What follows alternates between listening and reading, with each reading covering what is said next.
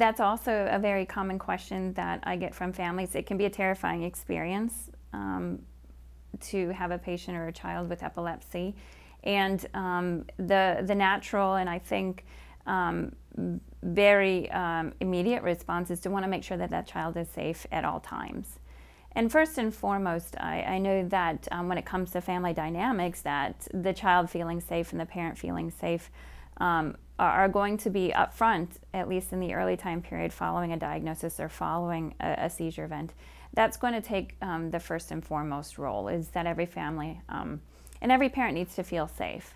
And so oftentimes immediately following a diagnosis, I do have a lot of families co-sleeping. I do have a lot of families that will bring the child into the room just to make sure they're safe. And that can be helpful in the beginning time period because um, if a child is having seizures at night, the parent is usually there, is able to react, is able to gauge when did the seizure start, how long did it last, what um, what occurred during the seizure, what did it look like, what we call seizure semiology.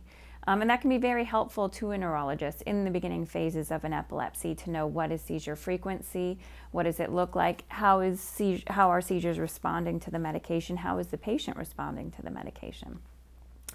In the long run, um, as I uh, said earlier, indicated earlier, the goal of um, medical care for patients with epilepsy is to try to encourage a normal and healthy lifestyle. And what I will begin counseling my patients and my families about is different options that they have at their disposal to make that transition back to um, independent sleeping, if that's right for the family. Um, many options for some of my family members have included a baby monitor, um, even though it's not for a baby, but it will be hidden in the room with the child, and the parent can hear if there's movement that sounds like a seizure. Um, some of my families will use the video monitors that are now on the market that also can be very reassuring in the earlier time period of an epilepsy.